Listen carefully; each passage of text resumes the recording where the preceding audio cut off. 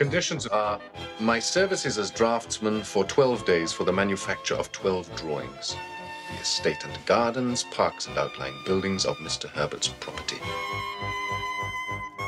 The sites for the 12 drawings to be chosen at my discretion, though advised by Mrs. Herbert. For which I am willing to pay eight pounds a drawing to provide full board for Mr. Neville and. Uh, and, madam?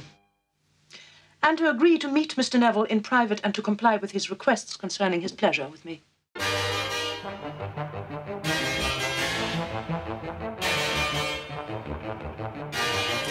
There is a narrative in these apparently unrelated episodes. Drawing is an attribution worth very little, and in England worth nothing at all.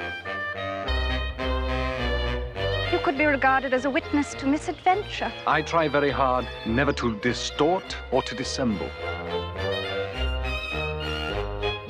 It'd be a pity to destroy them. They contain evidence of another kind.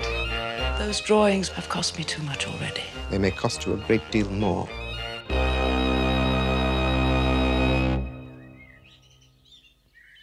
It is time, Mr. Neville.